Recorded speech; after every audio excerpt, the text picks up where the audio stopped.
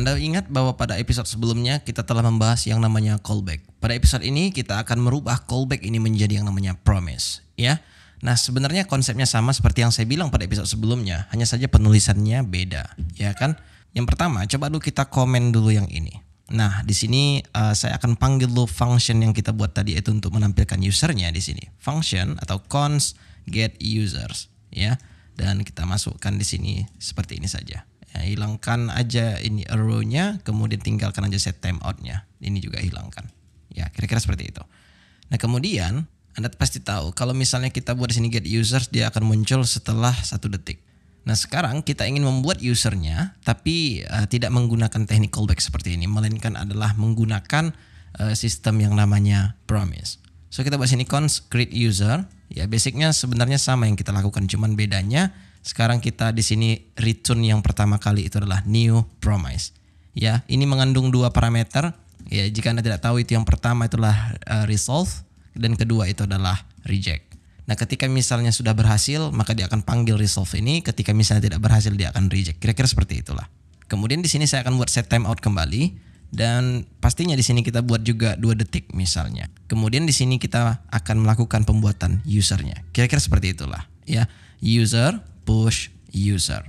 Nah, coba dulu kita buat di sini satu variabel let error equals to uh, false misalnya. Kemudian di sini kita bu bisa buat conditional if not error, kemudian kita akan resolve di sini dia. Ya. Resolve. Kemudian jika misalnya error, kita akan panggil di sini itu adalah reject. Bisa dengan masukkan di sini langsung message-nya seperti misalnya something ya, something went wrong. Seperti itu kira-kira ups seperti ada typo di sini ya perhatikan saya akan copy dulu ke sini. Ya. Nah kemudian di sini kita akan melakukan yang namanya create user. Sama seperti yang tadi bedanya kita tidak akan menggunakan yang namanya callback di sini. Di sini saya akan dulu uh, Alex misalnya. Nah tadinya kan kita passing yang namanya callback di sini. Ya kan? Nah sekarang tidak kita ada di sini yang namanya then nah ketika misalnya sudah berhasil atau tidak ada error maka apa yang dilakukannya adalah panggil si get user ini. Ya Kenapa saya buat di sini ke dalam eh, apa namanya ini function hanya karena biar supaya kita bisa panggil dengan cara seperti ini saja. Ya, kalau yang tadi kan kita langsung directly sebenarnya kita pertama juga seperti itu, cuman kedua saya ajarkan seperti ini. Nah, eh, kita seperti ini saya sudah cukup sebenarnya. Jadi ketika misalnya Anda mau seperti yang tadi juga tidak ada masalah sama sekali. Jadi Anda masih bisa seperti ini juga ya, menggunakan arrow terus Anda buat di sini uh, set timeout console.user kira-kira seperti itulah. Ya, coba kita lakukan aja langsung. console.log users. Tapi yang pastinya dia akan keluar setelah set timeout uh, sekitar uh, dua detik lah, satu detik lah, ya sama seperti yang di atas, ya. Alright, sekarang coba kita refresh. Nah, kira-kira sudah jelas ya bahwa ketika misalnya tidak ada error, dia akan resolve, yaitu adalah dia akan menampilkan uh, semua user yang telah kita punya atau setelah di pushnya apa yang terjadi. Kira-kira seperti itulah. Nah, kemudian bagaimana cara kita menampilkan error ini? Coba dulu kita buat di sini errornya true true. Ya, karena di sini basicnya jika tidak error, yang tadi kan false di sini. Maka ini yang muncul adalah resolve. Nah, coba dulu kita buat errornya true sehingga kita refresh. Maka di sini yang terjadi adalah error. Something went wrong. Tapi jelasnya errornya ini kan eh, terlihat jelek. Mungkin bisa jadi Anda ingin memberitahu pada user bahwa ketika error tampilkan alert atau semacamnya lah. Nah, oleh karena itu Anda bisa buat itu setelah then ini ada then, kemudian di sini kita bisa buat satu lagi adalah catch. Nah, catch ini Anda bisa buat apa pun yang Anda inginkan. console.log hello misalnya seperti itu. Refresh. Maka muncul hello di sini. Kemudian Anda bisa masukkan di sini message dan Anda bisa masukkan di sini actual message yang Anda dapat dari sini. Sekarang kita run kembali. Ya, kira-kira seperti itulah. Something went wrong. Bedanya ketika Anda tadi menggunakan callback itu seperti ini, ketika menggunakan promise itu seperti ini. Ya, kira-kira seperti itulah cara menggunakan promise. Tapi ada juga yang namanya async await yang sebenarnya jauh lebih simpel daripada promise ini. Coba dulu ini error kita buat ke false kembali sehingga jika misalnya kita refresh yang terjadi adalah muncul semua datanya. Oke? Okay? Nah, untuk create user ini coba dulu kita komen terlebih dahulu.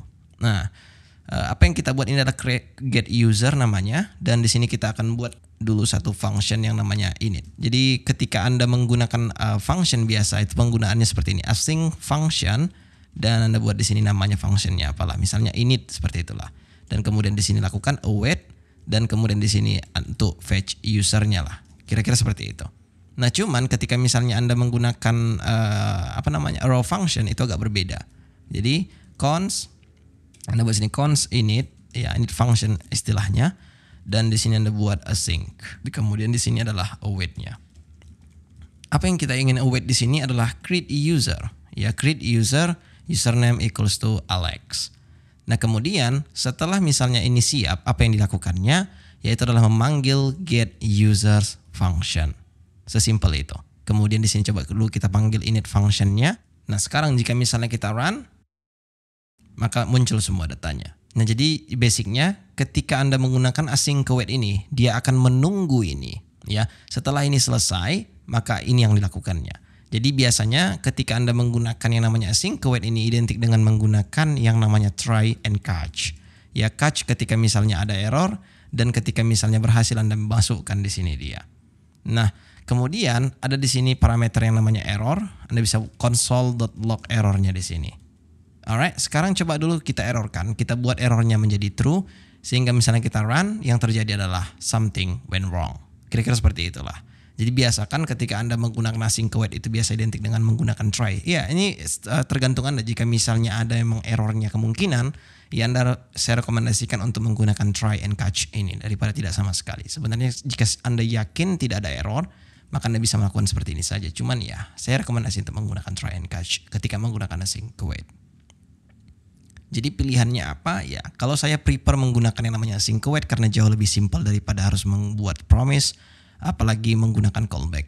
Ya, yang mana menurut Anda lebih mantap? Ya, itulah yang Anda pakai. Jangan ikuti saya. Kalau saya menggunakan async await ya karena saya suka. Ya lebih simpel daripada menggunakan yang lainnya.